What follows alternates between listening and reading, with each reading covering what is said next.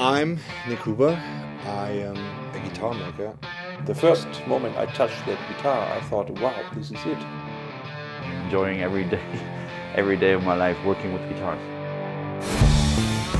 It's just not having the fear of failure.